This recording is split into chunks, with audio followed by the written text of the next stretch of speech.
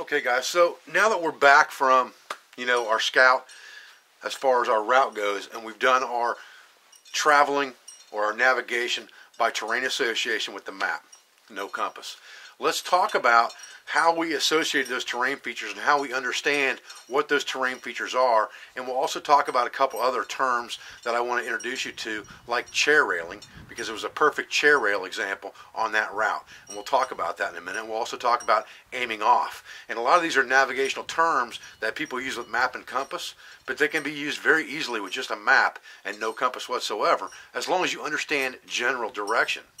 And general direction is very easy to figure out. Obviously, you are your own shadow stick. If you're standing with your back to the sun, your shadow is going to be cast in a northerly direction, northerly. The sun travels in a southern arc. So it rises in the east, it sets in the west. Anytime your shadow is in front of you, it's going to be in a northerly direction. So that's very easy to understand. And then you can also look at your map once you understand where you start from. And that's the important thing with navigating by a map with terrain features only is understanding where you came from to begin with so that you can associate those terrain features right off the bat leading up to your position that you decide that you're going to start planning a route or traveling beyond a known point. And we'll talk about that as well. Stay with me, guys. Okay, guys. In the Pathfinder system, you know, I believe in the KISS method. You keep everything simple and easy to understand. So, two things I want you to think about before we talk about the map is number one is I want you to think about what I call the five main colors on a map. And there's always going to be more or less of these things depending on the map that you have. But these are the five main colors that are used. And I'm going to make it very, very simple.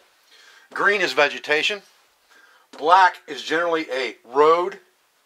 Sometimes it's a grid line. But generally it's a road if it's not going straight up and down. Brown is for contour lines. Red is again a road, generally a major road and blue is obviously water. Pretty simple. Vegetation, minor road, possibly a grid line. Brown is a contour line. It can also be squares of buildings and things like that, but they can also be black. Just depends on the map. Red is always usually a main road, and then blue is water. Real simple concepts, okay? Now let's look at the five main terrain features on a map. And there are more than five.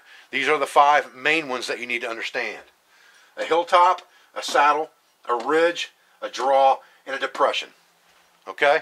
And what I want you to understand about these is not only what they look like on a map, but what they would look like if you were looking at them three-dimensional. Because that's what you're going to do when you are navigating by terrain feature association. And that's how all the old timers did it. Back in the day, before they carried compasses around all the time with them, other than on ships, you know, before Lewis and Clark, when they navigated, they generally did it by major terrain features and chair rails. And we'll talk about chair rails here in just a little while. Okay. This is a hilltop. It looks like something like this on the map. It'll be one contour line in a circle or an odd shape of some type that closes itself. And that will be a hilltop. So what does that look like in three dimensions? It looks like that. It looks like a hilltop. If you remember right today, when we looked at our map, we had a hilltop and then we had another hilltop that we walked to. And this hilltop was a lower elevation than this hilltop. And here we go. Here's a lower elevation, here's a higher elevation. This one would have a grid line going here in between the two, like this, to show and then this one here would go here probably. And around here. A very simplistic way to show you what we looked at today. Now, the other thing that I want to show you is this area between the two hilltops is called a saddle. And on the map, it will look exactly like that.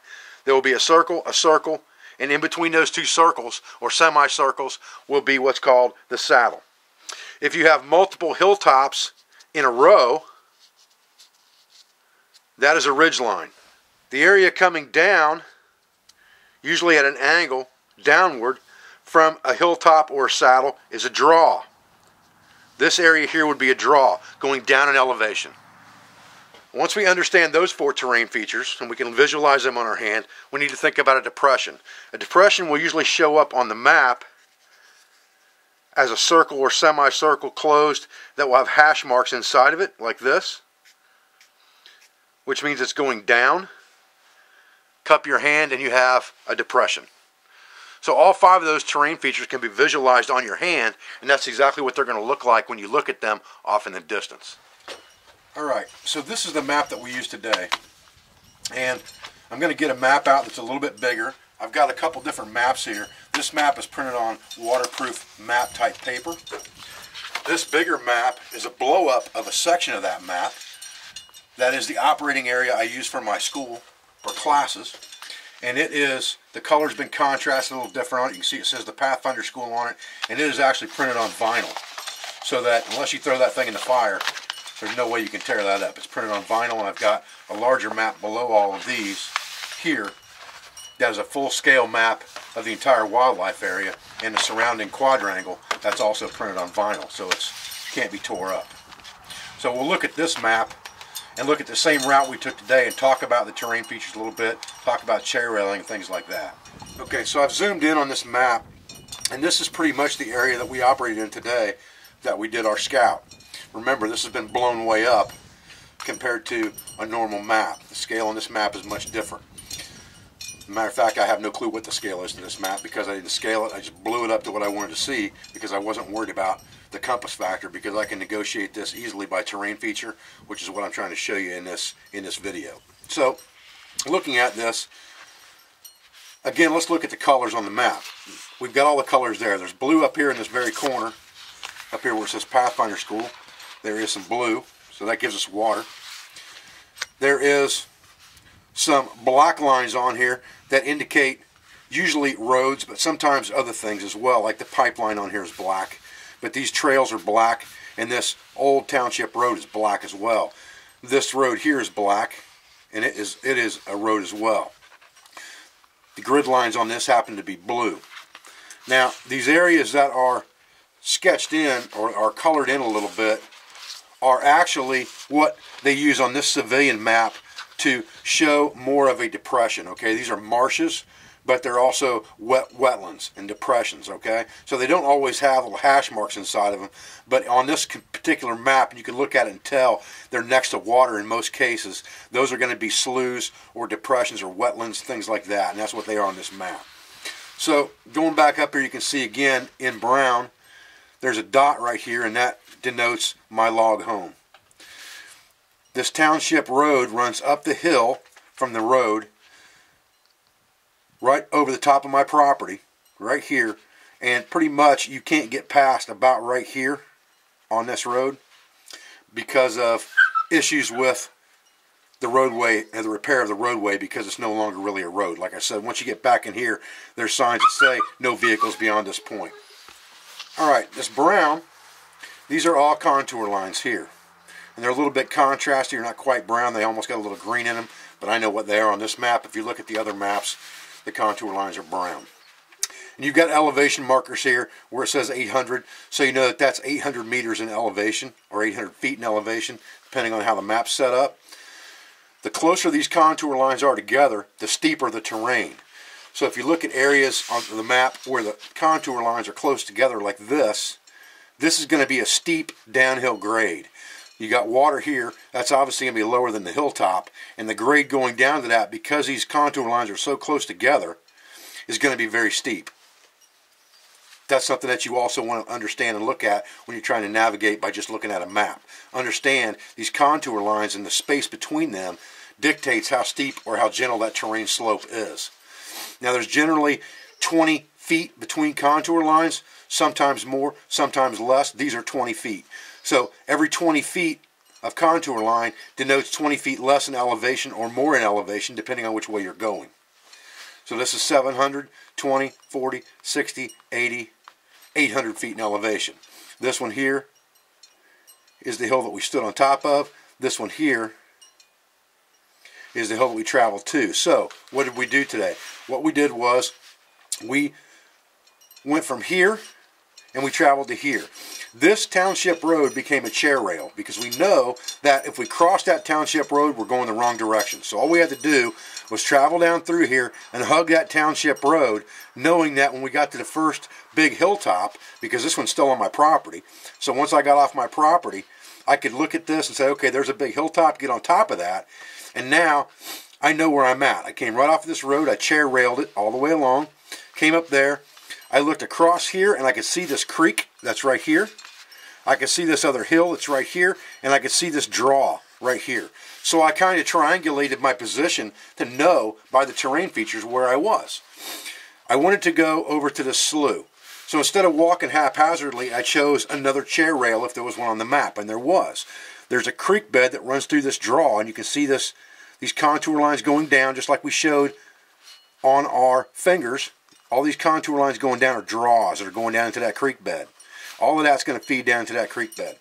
So we went down this draw to this creek bed, and we used that creek bed, which we knew flew all, flowed all the way down around into the slough as a chair rail. We knew as long as we hugged that creek, eventually it was going to lead to the pipeline or the chair or the slough. Now, it didn't matter if we went left or right of that because we're still going to hit the pipeline. So if we would have went off the creek bed somehow, or we couldn't follow the creek bed because of vegetation, whatever the case may be, once we hit the pipeline, as long as we go on the other side of this creek, we hit the pipeline, we know we have to turn back to the right. If we go on this side of the creek and we hit the pipeline, we know we have to go left to find that slough. So that's aiming off in case we had to because of terrain. But we were able to follow that creek all the way down until we came out to the pipeline and right at the slough about right here. So once we got to that slough, we came out here and we followed the pipeline down. We could see that there was a creek that ran across here and crossed the pipeline. So what we did was we followed the pipeline again as a chair rail right along that creek until we found that crossing. As soon as we hit that crossing, we knew that we needed to go across the pipeline and follow this creek. So again, we've got the chair rail on this side. We know as long as we're hugging this inside, if we get to the pipeline, we're off. As long as we're watching the creek, we're on. We're walking down through here. When we got to this Y, and you can see it on this map where I've blown it up, that there is actually a pond right there. But it's not showing up real well on the smaller scale map. But once I blew it up, you can see that that pond is there. And there's that big beaver pond that we saw right where the Y used to be. And just like I said, there's a creek that runs out of it or into it from here, a creek that runs into it from here, and everything runs downhill into here and downhill this way. And there's a confluence right there at this boggy area where our slough is. Our camp is sitting right up in here. So all we had to do was go across here to get to our camp area. And we knew that because we could see this hilltop and we knew we were standing right here. So all we had to do was look across there to the hilltop and we knew somewhere in this area of a triangle is going to be our camp. So all we have to do is walk up to that to find our camp area. And that's how we did used terrain association and chair railing to manage to navigate this map with no compass. And it's not that difficult to do, but it's something that you need to practice. You need to understand how to read the map, what features are on the map, how to identify terrain features.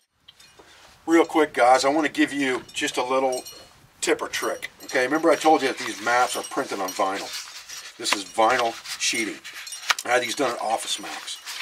Basically, I just went to mytopo.com got a picture of a map that I was going to purchase, import it into any program that does photo editing, and blow that thing to any way, any size I wanted to blow it up to. Then I just took that file, I just took that file and drug it onto an SD card, took it to Office Max, and had them print this map that was blown up of exactly what I want on this vinyl paper. If you can get this costs six dollars, by the way, guys. Eight and a half by eleven costs six dollars.